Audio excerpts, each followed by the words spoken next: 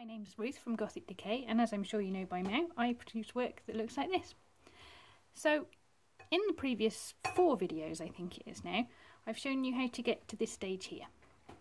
So what I'm going to do now is show you how to put some basic colouring in and start putting all the textures in. Now all the things I use here are just what I happen to have. So use whatever you've got, whatever you will work for you. You don't have to copy everything exactly. You don't have to worry about not having exactly the same things that I do. Just um, just enjoy the process and kind of get some ideas from this. And I must excuse the, the colour of my fingernails because, yes, I've been doing something else and I'm terribly messy. So, here we go. Now, something I always find personally is I get scared. I see this and I think I don't want to make any, I don't want to mess it up. So what I always start with is this, which is a very, very ancient, grubby um, stamp with lettering on it. It just means that when you start, you kind of you're not trying to be too photographic because you've already made a mess by, well, you've already marked your um, fabric by putting the stamp on there, and it's not directly copying something that you see in the photograph.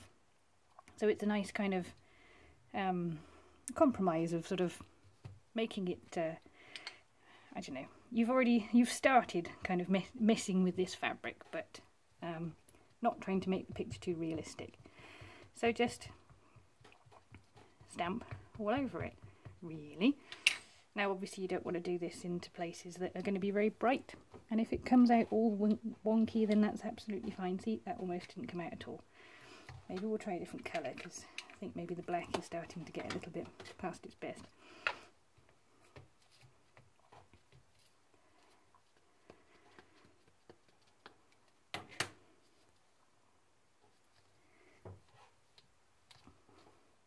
There we go. It's only very, very subtle. I don't know if you can see.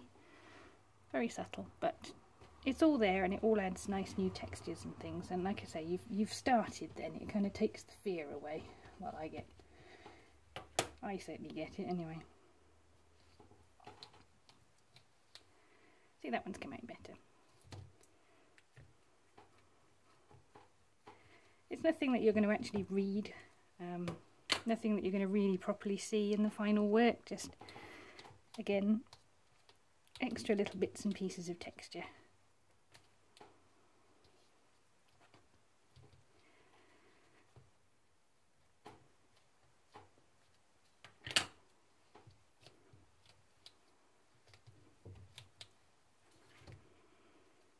Some of it com comes out quite nicely like this bit and other bits you can barely see at all but that's absolutely fine.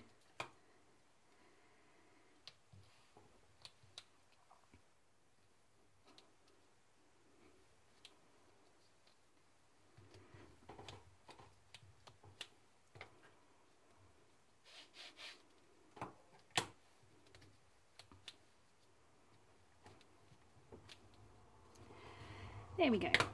So you've already started now and that's the main thing.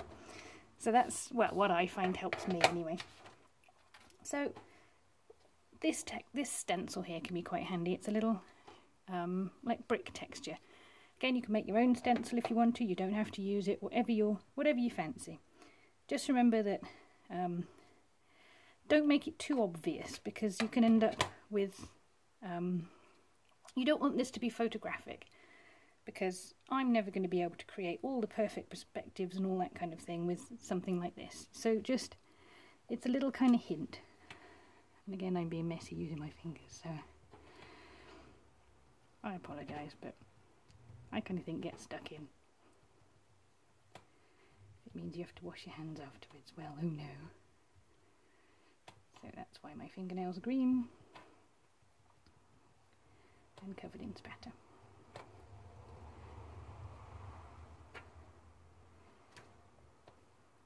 So you're just trying to create a little sort of hint of brickwork. You're not trying to cover the whole thing and make it all look, um, you know, as I say, you don't want it to be photographic, just little hints of textures and colours.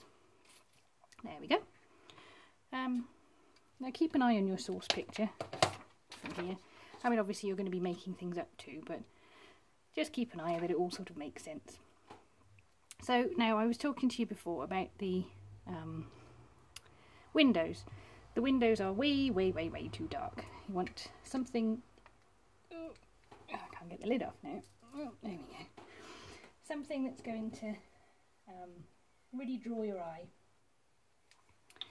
So this is some white ink that I've borrowed from James. He does know. Um, now we need a smaller brush than that. More organised. There we go.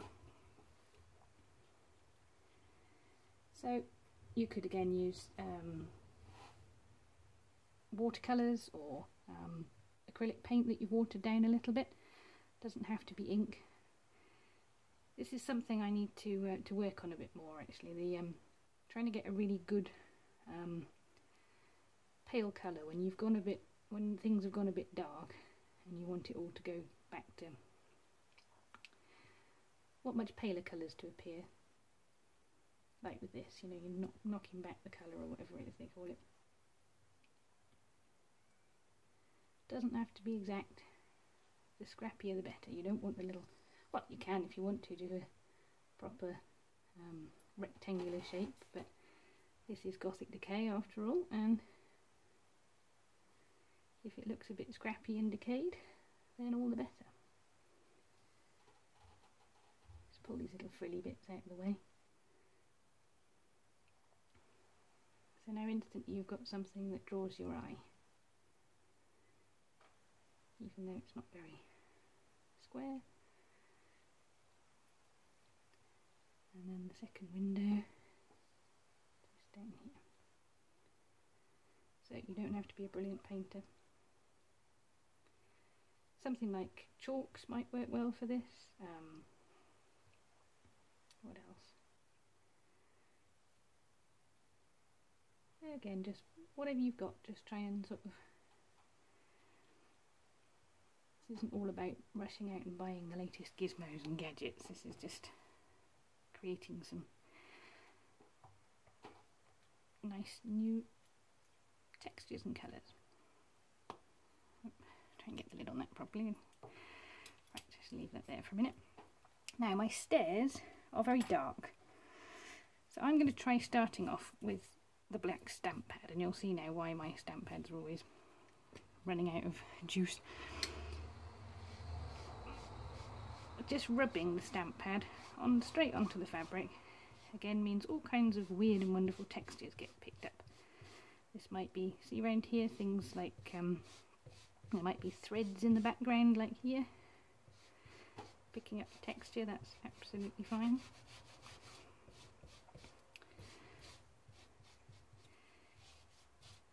See, I don't think that's going to be quite dark enough, so we'll get the Indian ink out. But what we will do is just put a little little bases of dark around the outside. Now, I think this black ink might be definitely past its best. So we'll try it with this one instead. Because it always looks better if the edges are darker. You see that's picked up the texture from this here. So it's kind of got a little square bit on it. It's a bit weird, but well, we'll go with it. That's why nature helps creates all kinds of things that you'd never think of putting yourself.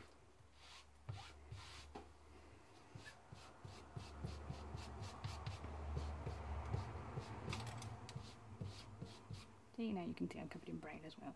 It's just me, I'm messy. So I thought that we could do for the, um, what's the word? Wallpaper, that's what I'm looking for. I've got a little stamp of a sort of fern type thing. So it's not meant to be photorealistic as I say. So we'll just add in some little little bits of whatever the wallpaper pattern might be. It's only subtle, you don't want a big big flipping flower in the middle of everything. Just a little bit of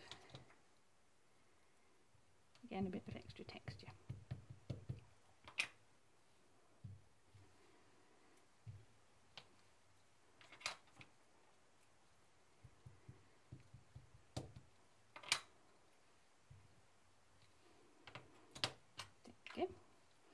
So yeah, the steps are definitely going to need extra work on them. But this is what it's like when uh, when you're doing this sort of, as it were, live. You just don't. You just have to kind of work with what you're getting. You know, if if this is too uh, if this is too um, too dark, well then just keep putting more colours into it to try and um, lighten it up. You know, extra chalk or some more ink or whatever it might be. So you know, this to me isn't dark enough. So we should take the Indian ink,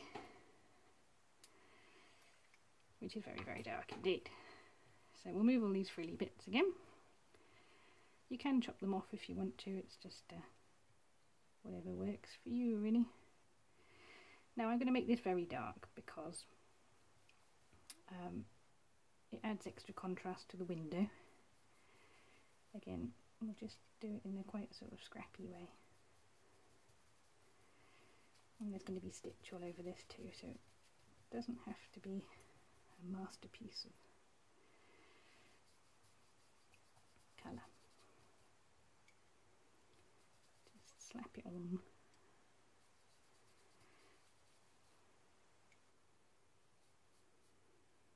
Where's my line gone? Ah, there it is.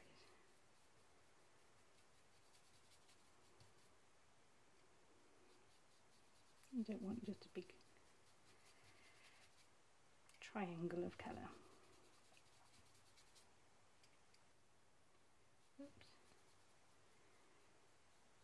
Things have dripped, but we go with it. It's fine.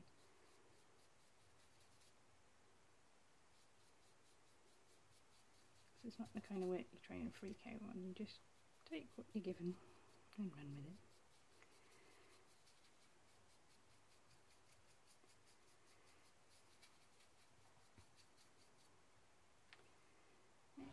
Right, so we shall now do the famous darkening of the edges. See, that's better, that's what we were after.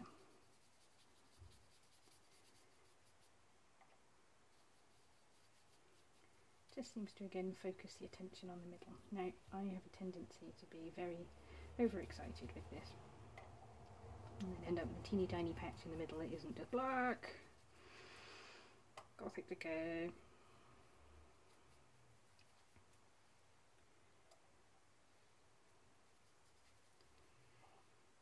So we shall endeavour to try and keep some of it nice and light for you. So I'll join these bits up. And famous last words. See, getting blacker and blacker.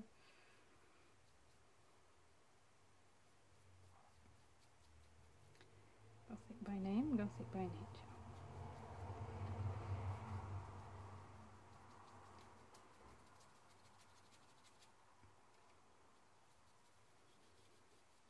See why my cutting board is all kinds of different colours and shapes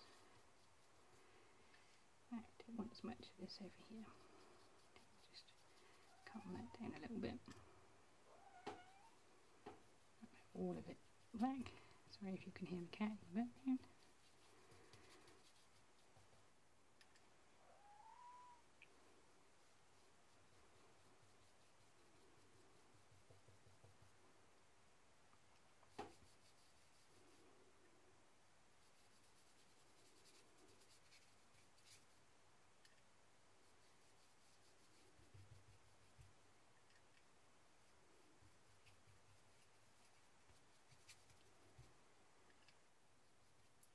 It's a bit quick and rough and ready, but you get the idea.